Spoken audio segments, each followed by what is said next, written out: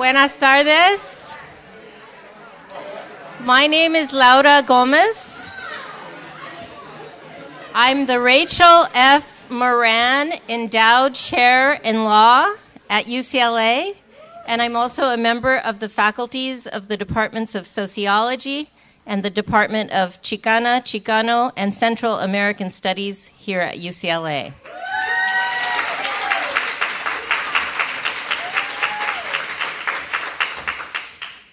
UCLA is a land grant institution, and this land was taken from the stewardship of the Tongva peoples, the traditional caretakers of the Los Angeles Basin. We acknowledge and pay our respects to the Tongva Honuukvetam ancestors, 'Ahiihirom elders, and 'eyoohiinkem relatives, past, present, and future. On behalf of UCLA's Critical Race Studies program, I welcome you today. As a founding faculty member of CRS in the year 2000, and as the program's first co director with Jerry Kang, I'd like to say a few words of introduction about our program.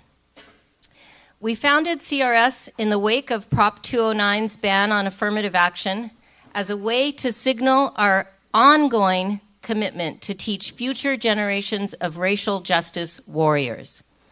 23 years later, well over 1,000 UCLA alumni have chosen the CRS concentration, and one quarter of our recent graduating classes have specialized in our program.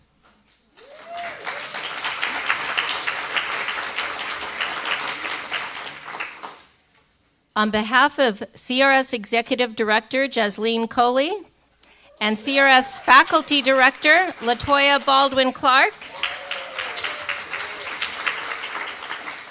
and the entire CRS faculty and staff, it is my honor to welcome you to our home today and tomorrow. So here we are, only three and a half years after we were supposed to be here. But a seeming world ago, before there was a pandemic, before we were all familiar with Zoom, before so many lives were upended by death, economic hardship, and new ways of living and working. We were determined to gather to have this set of conversations, to be rebellious together, in person, to honor our friend Gerald Pablo Lopez.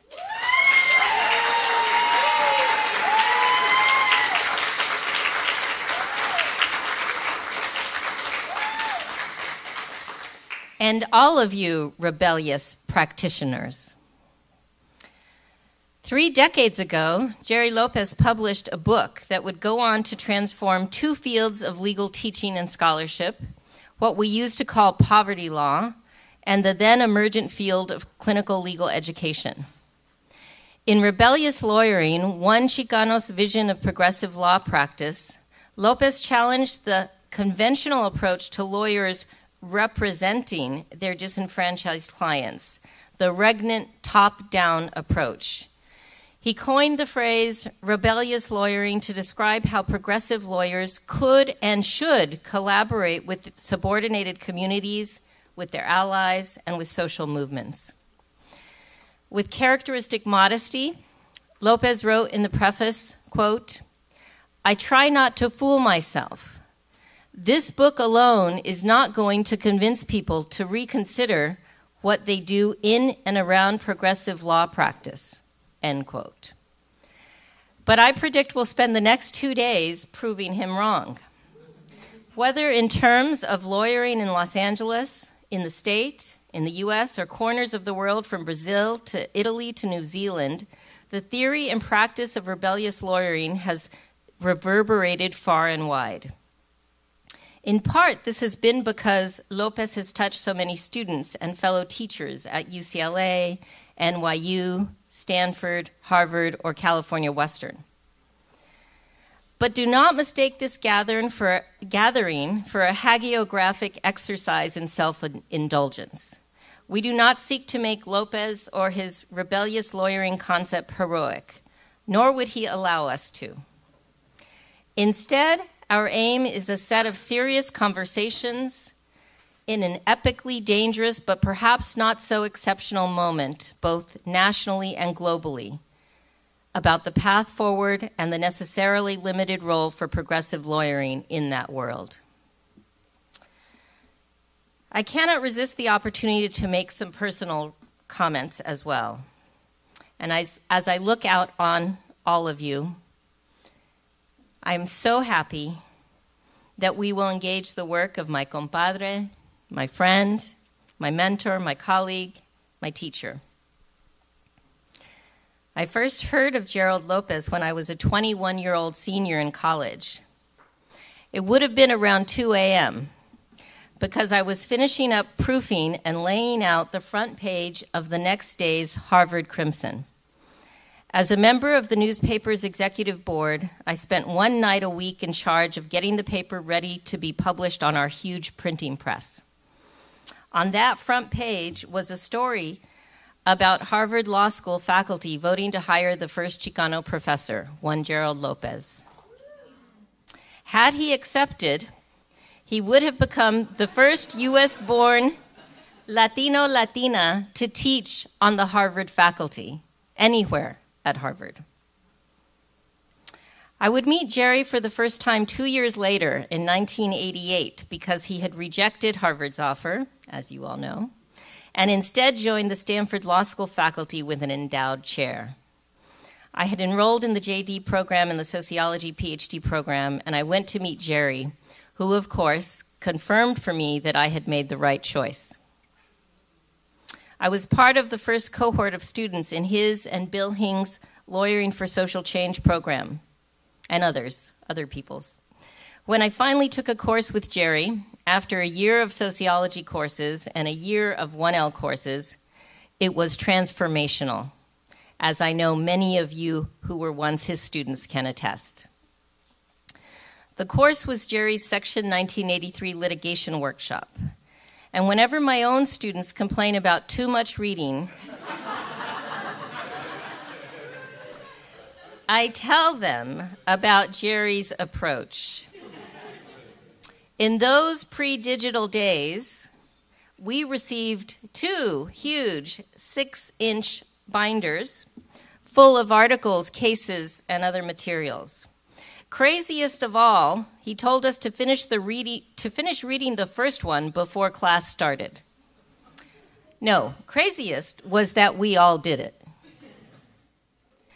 One of the many strokes of good luck I've had in my life was when Jerry rejoined the UCLA faculty in 1994, becoming my colleague.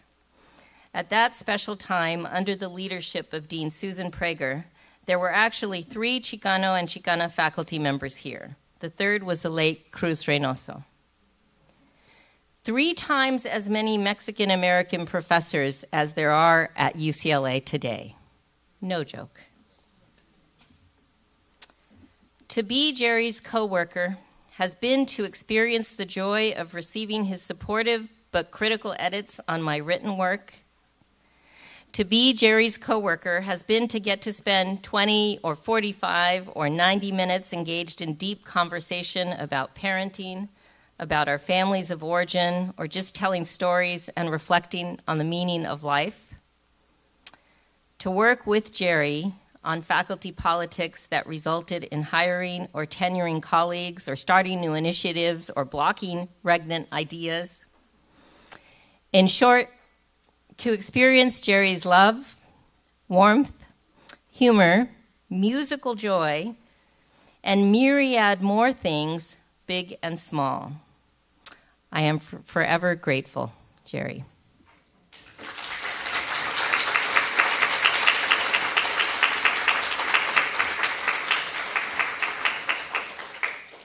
It is my pleasure to introduce UCLA Law's new dean, Michael Waterstone.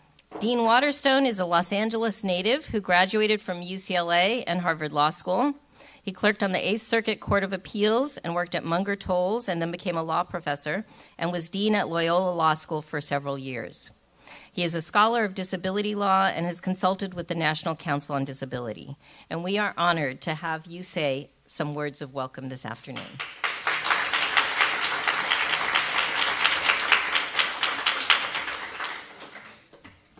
Wow, we made it, right? Um, so I have some prepared remarks. They do this for deans. I'll get to that in a moment. Um, but first, I just want to say how amazing it is to be here, how grateful I am to be welcomed into this community. This is my first CRS event as dean. Um, I've known of your work as both a member of scholarly communities, the legal community here in Los Angeles. So much of what this program has created was foundational in my own work, my own thinking about law and justice and inequality. Um, so I just want to kind of say thank you and note how incredibly special it is to me to be not just the dean of this law school, but a member of this community. So from the bottom of my heart, thank all of you.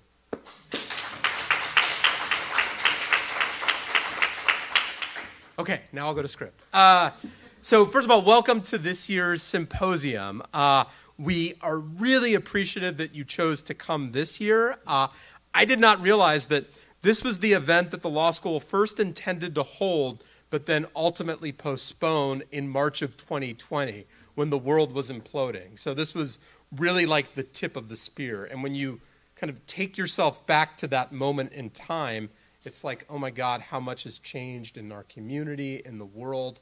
But it makes a moment like today particularly joyous. Um, I think we've kind of reached a point where we're gradually getting used to holding events together in person. And that's wonderful. That's terrific. But I just hope we don't take it for granted. I really hope we can, a, a moment like today can feel extra special knowing that we went so long not being able to gather like this. Uh, while, while the world has changed a lot since then, and, and these remain confusing and, and anxious times, the fact that you came today underscores the importance of our critical race studies program and the lasting influence of Jerry Lopez and rebellious lawyering. So, we, and I love that I get to say we, started the CRS program in 2000. It was the CRS was the first and only program of its kind at any law school in the United States. And it's emerged as the nation's premier program in race and the law. We have 16 core faculty members who are, it's not an exaggeration to say, giants in the field. Our alumni are making a difference in law, society. Here we're home to the very first specialization at UCLA Law. And in recent years, between one quarter and one third of our students have chosen to pursue that specialization. Also, in recent years, since the murder of George Floyd and unfounded attacks on critical race theory across the United States, our scholars and advocates have rededicated themselves to emphasizing and defending the importance of critical race studies. These are points of tremendous pride for our community to everyone in our CRS program, just literally everybody in this room, thank you. And congratulations on now being 23 years young. I don't know what happens after 21, right? 21, you get to have a drink. After that, it just kind of. I think at 25, you can rent a car. So you have that to look forward to. I know that the next decades will bring even more success. On the subjects of scholarship, advocacy, and making a difference in people's lives, I'm delighted to be here today for the celebration of rebellious lawyers everywhere. And of course, they are led by none other than Professor Gerald Lopez, who personifies these attributes. His 1992 book, Rebellious Lawyering, is a landmark in the field. And he's long practiced and preached the noblest ethos that any attorney or layperson could follow to dedicate his or her career his or, whole, his or her whole being to confronting injustice, curbing inequality, and plainly making better the lives of those who suffer from violence, racism, predatory practices in banking, housing, labor, and discrimination of all shapes and sizes. So, on this occasion of this CRS symposium, I think we can all agree that no scholar and advocate is more appreciative for celebration than our colleague Jerry. Jerry, Thank you for your contributions to UCLA law and the practice of lawyering and rebellious lawyering. You are a model for so many. And my hope is that on my very best days, there may not be a lot of them, but on my very best days, that I get to practice a little rebellious deaning. And those people include, of course, our panelists, some of whom are CRS program alumni who are now out in the field making an impact as leaders of conscience, the type of rebellious lawyers who this symposium is all about. So, one last time, thank you for being here, and now let's move on to our next program.